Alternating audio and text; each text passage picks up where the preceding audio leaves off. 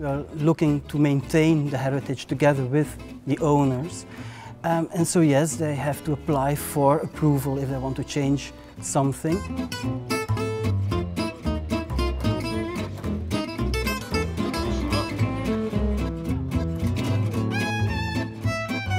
Quand, euh, quand moi j'arrête et il y aura quelqu'un d'autre, il ne peut plus casser l'endroit comme ça. Et ça c'est super qu'on sait déjà maintenant que ça va rester pendant des années.